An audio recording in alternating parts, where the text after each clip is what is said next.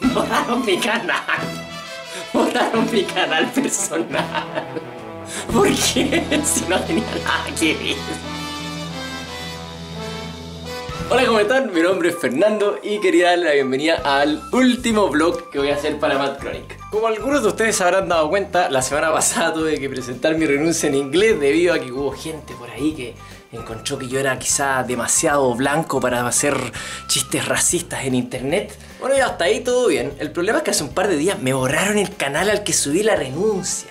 ¿Saben qué? Yo sospechaba que algo así podía pasar, así que no lo subí al canal de Bad Chronic, sino que lo subí al mío. Y me, lo borraron, me lo borraron. Tenía como dos millones y medio de vistas, como no sé. Desapareció también una de las mejores campañas de marketing que le habíamos hecho a Bad Chronic, que era Está todo en YouTube, hermano. Aprendí mi lección. Me di cuenta que está mal insultar a la gente. Da lo mismo si te echó injustamente de un grupo. Si se robó un poquito de plata de tu club. O si es que te pega combos en el rack. El respeto es clave.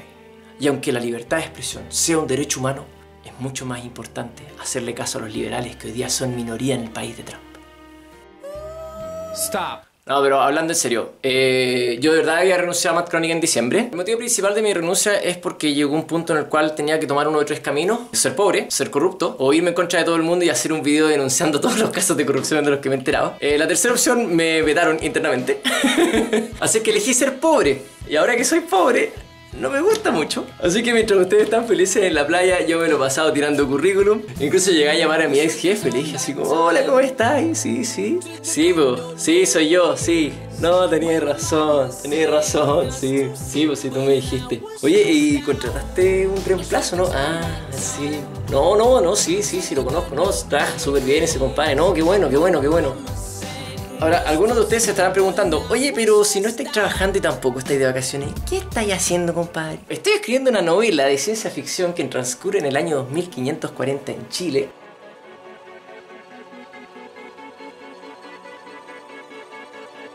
Así que si le quieren echar una mirada, les dejo el link abajo. Si se meten ahora mismo van a poder leer solamente el texto, pero en un par de semanas voy a subirlo en formato audiolibro para que ustedes puedan escuchar mi agradable voz mientras lavan los platos. Y bueno, eh, con eso me despido definitivamente del canal.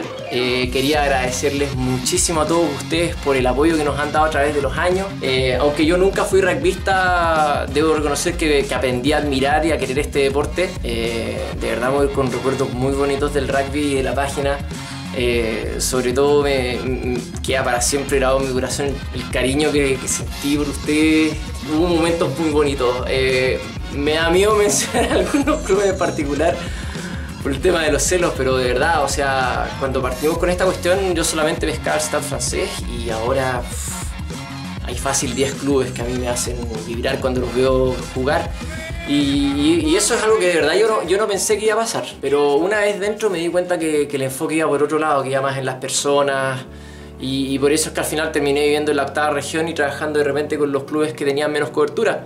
Porque siento que ahí es donde tenemos que estar. Y bueno, también me gusta pensar de que hubo un antes y un después con Mad Chronic. Primero lo experimentamos en Santiago, después lo experimentamos muy de cerca acá en regiones. Eh, logramos llevar este deporte a gente que jamás pensó que lo iba a poder ver gratis en internet. Y sobre todo a, lo, a los niños. A, a los niños les mostramos cómo jugaban los cabros más grandes, pero fue realmente impresionante ver cómo para ellos el proyecto sí era mucho más importante de lo que lo sentíamos nosotros mismos como adultos. Y eso me llenó un poco de esperanza, ¿no? Como que en el fondo van a haber varias generaciones de rugbyistas que, que le van a poder mostrar a sus hijos cómo ellos jugaban a su edad en 30 años más. Así es que en ese sentido muy satisfecho con el trabajo realizado. Ahora en lo que respecta a Mad Chronic, este cambio es definitivamente para mejor. Uno de los dueños va a tener más plata para invertir. Y el nuevo jefe que vamos a tener en la octava región es pero un veterano del rugby. Sabe muchísimo, tiene excelentes relaciones interpersonales y estoy seguro que hace el trabajo mucho mejor de lo que yo lo hacía. Su nombre no es ningún secreto, pero si quieren saberlo me van a tener que preguntar por privado porque él estará de acuerdo conmigo que es medio peligroso esto del internet, ¿no? Así que una vez más, gracias a toda la gente por seguir el canal. Si les gusta lo que estamos haciendo, compartan los videos, cuéntenle a sus amigos, pónganle dedito arriba y no se olviden de marcar la campanita. Así que de ahora en adelante nos vemos en la gradas. Que estén muy bien.